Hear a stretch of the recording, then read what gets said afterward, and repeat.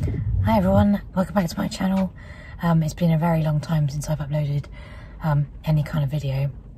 And this is kind of um, impromptu, but I've got a wheelchair appointment on Monday um, where I'm going to be going to the wheelchair assessment centre again um, for the first time since I went last time. When was it? October something? Um, I can't remember when.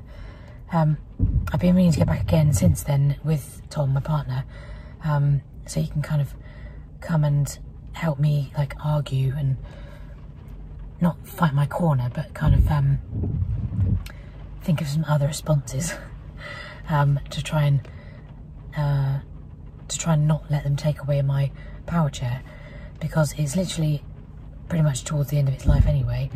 Tom's just done like a temporary repair on it.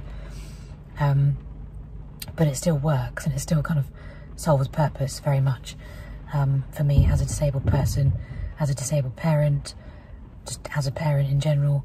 Um, so for them to take it away will be utterly devastating and completely unfair because it would just be scrapped. They're not going to do anything with it, it's just going to be scrapped.